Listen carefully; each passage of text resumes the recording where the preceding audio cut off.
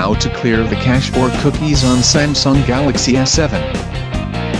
The cache stores files for faster web browsing. Clearing the cache can help resolve some issues and also save space on your Samsung Galaxy S7. Cookies are files that store information and allow website.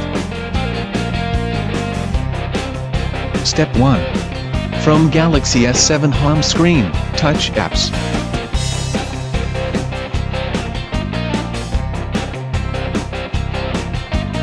Touch Google.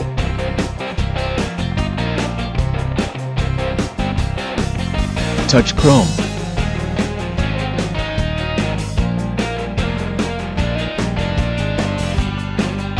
Touch the menu icon.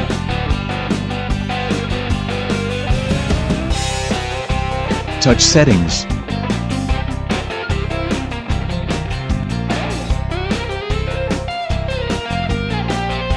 Touch Privacy.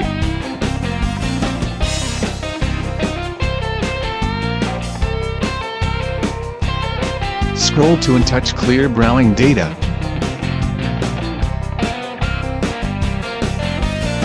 If by are not selected, touch Cache and touch Cookies, Site Data to select them.